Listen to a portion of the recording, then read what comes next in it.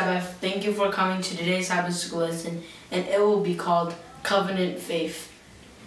And I just want to remind you that we'll be doing this every Friday, so please come and join us as we do. So today's today's title is called Covenant Faith, so you can be expecting about the covenant, what relates to the covenant. It requires faith, and since faith is needed to be is the main key to the covenant, you be we will be talking about and explaining how how to have a strong faith and how there and explain it in four different types of different types of faith how we can be part of today's covenant covenant. And if faith is like this faith just explain faith like this. What how does faith play in the everlasting covenant what does it do Essentially, the everlasting covenant is God's commitment to give us salvation, thus restoring our relationship with Him that was lost at Eden. Our part of the covenant is to be just, that is, to fulfill what God requests from us. So, every time, every time when God established the covenant, He wants to give us salvation.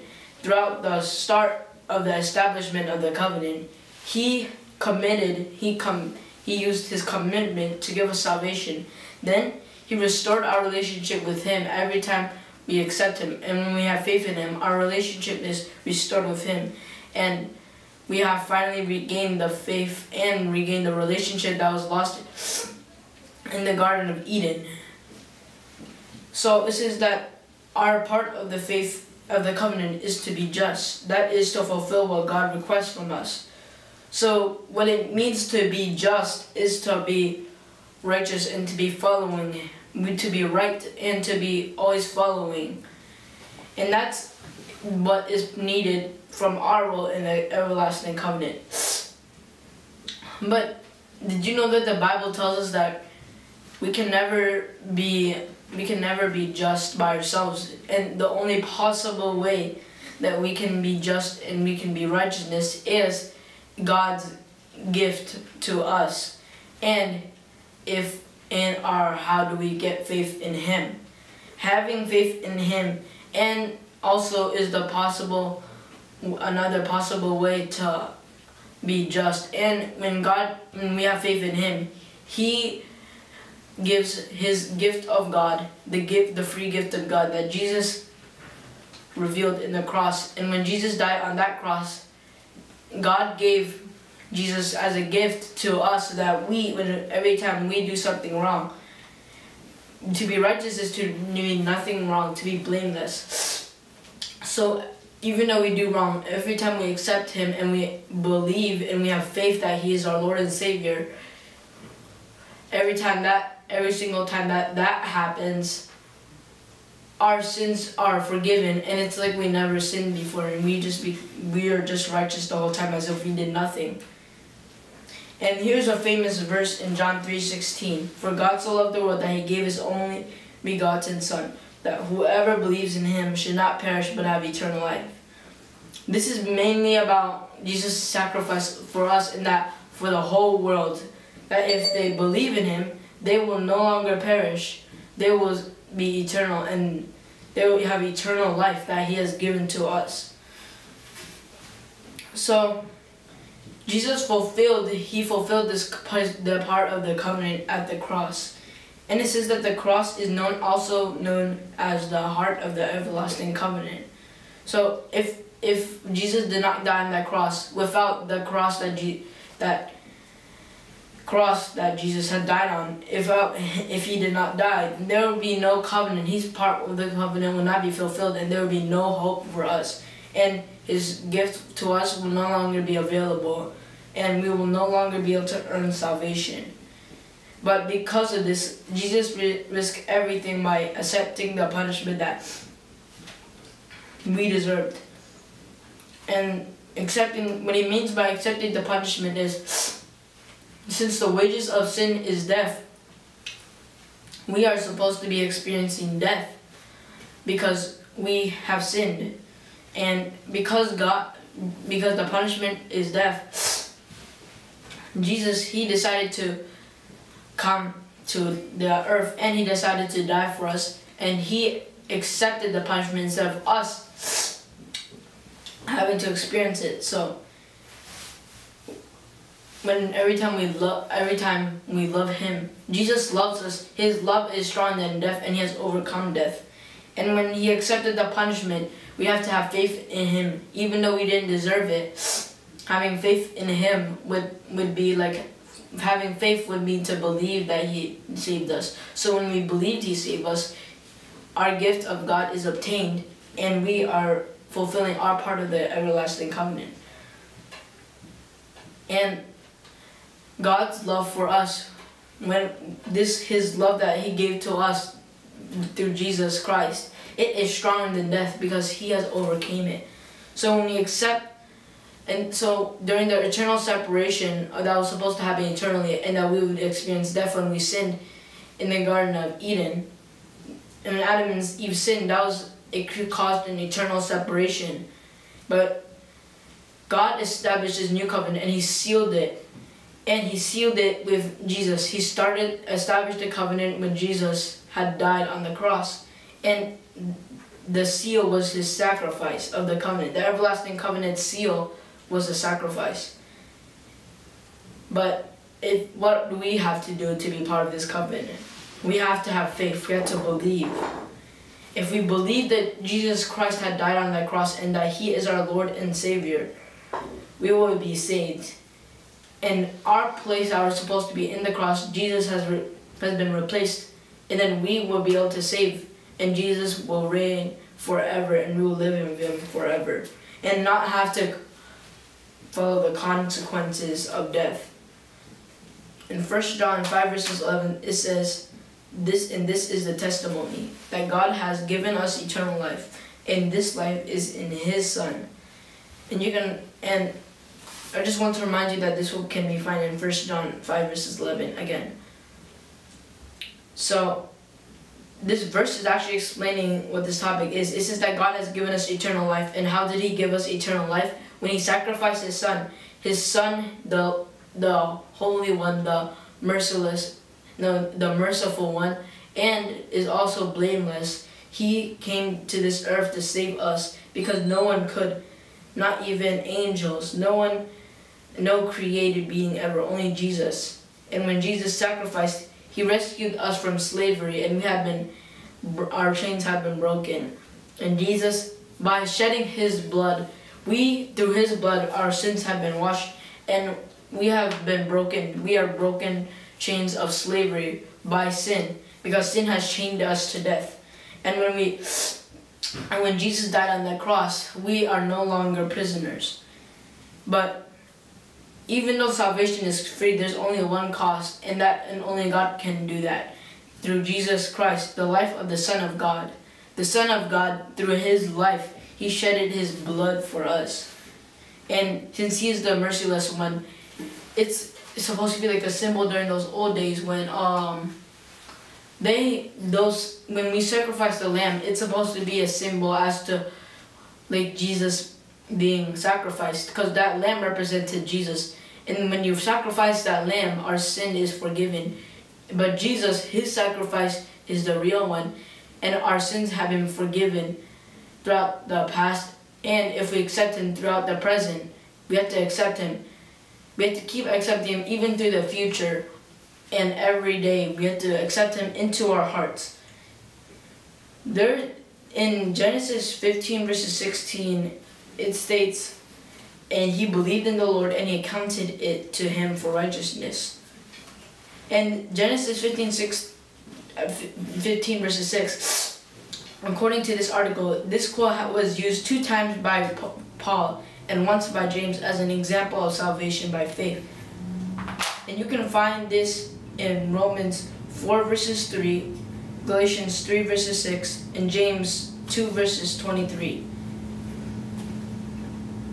And this, this can this what he what happening here is God he's telling Abraham that he will have a son.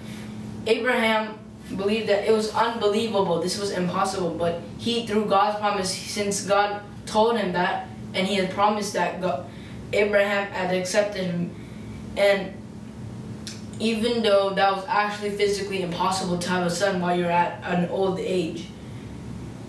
So he trusted him, and it actually happened. Because of this, God con- considered Abraham as a righteous man. But did you know that in you can find in Genesis 16 verses 4, he it says that he failed by taking Hagar and lying about his relationship with Sarah. So it says here that how could God consider Abraham righteous if he obviously was not? He has committed this sin. But how could God consider Abraham righteous? Let's, let's find out. In Romans 4 verses 5, it states, But to him who does not work, but believes on him who justifies the ungodly, his faith is accounted for righteousness. The word justification is to, the meaning is to be made. When we are justified, we are made, or we, we are made to be damned or to be called righteous. And if we are justified as righteous, righteous means it is an act of faith for the believers, an act of grace by God. So when we are righteous, we are when we are justified by right righteous, we are justified righteous. We it means that we have accepted God's grace and that we are fine we are we have become became someone who has faith in God and has accepted him. That is what just is the meaning of just being justified righteousness, and right and to be justified righteous. So it states here that we cannot bring any work of righteousness before God that would make us righteous. So all the work that we, so when we are justified as righteous, every single work that we have done is not we can every righteousness that we try to do will not work against God. But God, our faith is actually called righteous. So what is even though Abraham had sinned during that time, since he had faith in God and he had repented, God calls still calls him righteous even though he had done bad things. And we all do bad things. That's our nature. But when we accept God's grace and we have faith in him, it's like we have done nothing. And we are considered righteous. And this phrase may confuse you, but it says here, our faith is accounted for righteousness. So you may be wondering, what does that phrase mean? It says here, it means that we are considered righteous, although we are not, so we can enter heaven. So even though we are not righteous, to be accounted to be righteous means to be righteous, but in a way that we, we know we are not. But we are considered righteous all either way so that we can enter heaven because only the righteous can enter heaven. We are considered righteous because the righteousness of Christ is imputed to us. So what this means is that when we how to be righteous because since God Jesus Christ is righteous through his righteousness and through our faith and our belief in, in of him he decides that we are righteous since we have accepted him as our Lord and Savior. And when we are justified as righteous, there are actually some something that is called sanctification to be cleaned. And there and he says here that it can be stated into four parts. Love, obedience, character, and development. Every single thing has changed, it has been cleaned. So even if we are no matter how holy we are, it says that we are righteous before God by faith. Even if how bad we are, no matter what we have done, if we accept Him and repent to God every day for our sins that we have mistaken and we have done wrong. We are considered righteous before God because of our faith. And in 2, 2 Corinthians 1 verses 20, it says, For all the promises of God in him are yes, and in him amen, to the glory of God through us. So, it says that for all the promises of God in him are yes, so if you repeat this phrase, it's talking about the God's promises. God has promises us, and if we follow His promises through Him, that we have faith in Him, He will glorify us, and we will earn what is what God had promised to us. and did you know that the covenant is based on God's faithful promises? If we claim those promises by faith, they can improve our lives today. So when every time God has promised something to us, if we follow Him and we have faith in Him, if we have faith that He has done this, and not and instead actually believe that He did, that He will do what He said He would, then it can improve us and God will glorify us and improve our lives today. In Ellen G. White's book, God's Amazing Grace, it states, Righteousness is obedience to the law. The law demands righteousness. In this, the sinner owes to the law, but he is incapable of rendering it. The only way in which he can attain to righteousness is through faith. By faith, he can bring to God the merits of Christ. And the Lord places the obedience of his Son to the sinner's account. Christ's righteousness is accepted in place of man's failure and God receives pardons, justifies the repentant, believing soul, treats him as though he were righteous, and loves him as he loves his son. This is how faith is accounted righteous, and the pardoned soul goes on from grace to grace, from light to greater light. So God has given us his holy law, and what does it mean to be obedient to the law? It, it, it means to be righteous. And through our righteousness, based on this passage, our soul, every time we have become righteous, we go from grace to grace, from God's grace, and we change from His grace to another grace. Because to be gracious means to get something that we don't, we didn't deserve, and through God's grace, we have been changing our lives throughout our lives, and because of His grace, and our light shines even greater. We have to share our light to others because every time we grow with God, our light gets lighter, and people will get that light too, and they will understand, and they will want to follow God too. So, mainly this topic is about having faith in God, because faith is means to be believing in God. And when we believe in God, we are fulfilling our part of the covenant. And when we fulfill our part of the covenant, if we believe that He did, that he saved us and we believe that everything he did will happen for real, then he considers us righteous and we and considered us as we did not do anything wrong and our light shines even greater through our lives. I hope you guys have a great Sabbath day and thank you all for watching today's Sabbath school lesson. I hope you have a great day. God bless you.